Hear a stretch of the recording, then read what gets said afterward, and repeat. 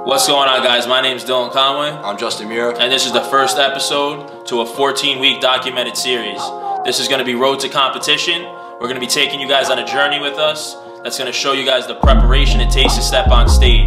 It's going to include the dieting, the cardio, the training, the early mornings, the late nights, the entire grind. We're going to be competing In the Steve Stone Metropolitan Championships 2019, um, we'll both be competing in men's physique and classic physique.